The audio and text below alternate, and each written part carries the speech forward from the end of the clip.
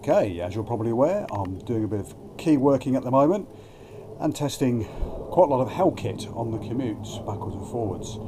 Uh, this Held Lumberjack 2 shirt is something that I really, really like.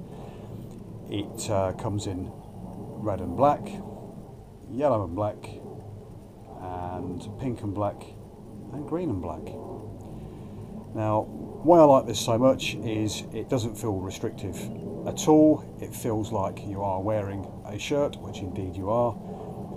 But of course, it brings the added benefit of special um, Armaprotec material reinforcement on the back, the shoulders, and the arms. So basically, it's an abrasion resistant mix um, in the material.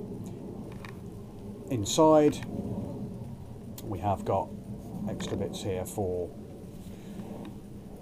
chest protection. You can pop them in there. We can fit a back protector in, and it comes with elbow protection, which can be taken out, and shoulder protection, which can be taken out. We've got zip up pockets here. We've got little stretchy panels at the side.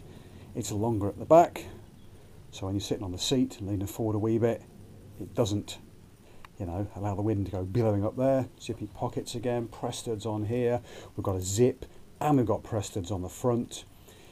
And inside, little blue tags here, we have got the benefit here of the held clip-in technology, which means I can clip in a waterproof layer or I can clip in a thermal layer, which will transform this coat. Or, of course, I can clip in the airbag vest system you know, all in all, as you can see by the way it moves, it's just super comfy and it looks absolutely uh, great on the bike.